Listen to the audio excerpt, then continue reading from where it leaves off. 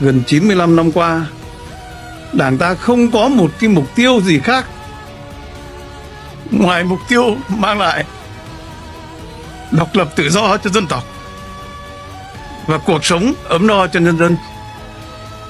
Trước tiên thì à, thay mặt cho lãnh đạo Đảng, Nhà nước, Mặt trận Tổ quốc Việt Nam xin ghi nhận đánh giá cao và biểu dương các cơ quan truyền thông báo chí, nhất là Đài truyền hình Việt Nam trong suốt thời gian vừa qua, và đặc biệt là những ngày những ngày vừa qua, để chúng ta tập trung phòng chống và khắc phục cái siêu bão số 3 này.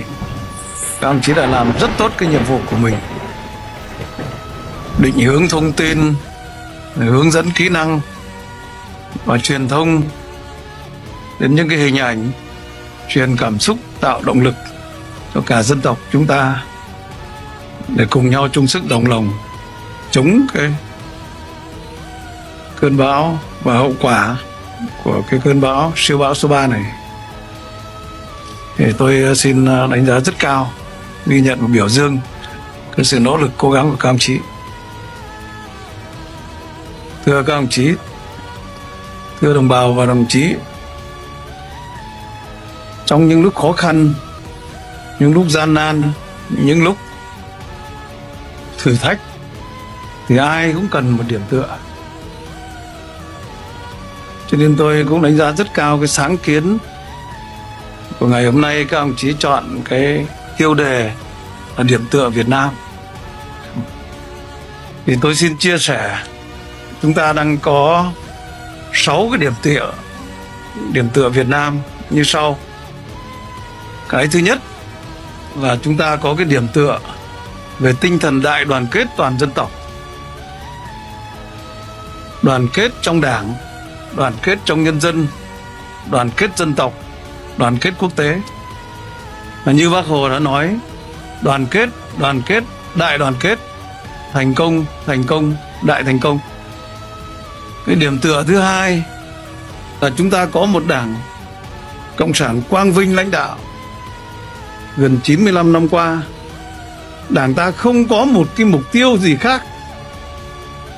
Ngoài mục tiêu mang lại độc lập tự do cho dân tộc và cuộc sống ấm no cho nhân dân. Cái điểm tựa thứ ba là cái truyền thống lịch sử văn hóa hào hùng, văn minh, văn hiến của dân tộc chúng ta. Tinh thần thương tân, tương ái. Thương người như thể, thương thân. Lá lành đùm lá rách lá rách đùm lá rách hơn. Bầu ơi thương lấy bí cùng, tuy rằng khác giống nhưng chung một loài. Cái điểm tựa thứ tư là điểm tựa của người của nhân dân. Nhân dân làm nên lịch sử. Sức mạnh từ nhân dân. Dễ trăm lần công dân cũng chịu, mà khó vạn lần dân liệu cũng xong cái điểm tựa thứ năm là quân đội và công an. Khi cần, khi khó, có quân đội, có công an. Quân đội ta từ nhân dân mà ra, vì nhân dân mà chiến đấu. Công an ta vì nước quên thân, vì dân phục vụ. Cái điểm tựa thứ sáu là tinh thần tự lực tự cường của dân tộc ta, của mỗi người chúng ta. Khi khó khăn, khi phức tạp. Càng áp lực thì càng nỗ lực phấn đấu vươn lên, tự mình vượt ra khỏi cái giới hạn của mình. Với một cái tinh thần là biến không thành có, biến khó thành dễ, biến cái không thể thành cái có thể. Đó là một cái tinh thần mà tự lực tự cường của mỗi người chúng ta. Khi khó khăn, khi khi phải thách thức thì lại tự mình vươn lên vượt qua cái, chính cái giới hạn của bản thân mình.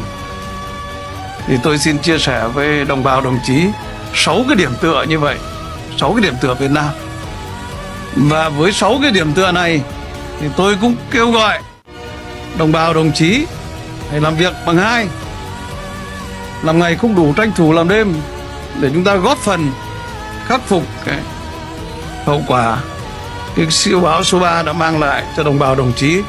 Chúng ta ở gần như 26 cái tỉnh thành phố ở, ở miền Bắc này và góp phần xây dựng một đất nước Việt Nam hùng cường, thịnh vượng và nhân dân ta ngày càng được hạnh phúc và ấm no. Xin trân trọng cảm ơn đồng bào và đồng chí.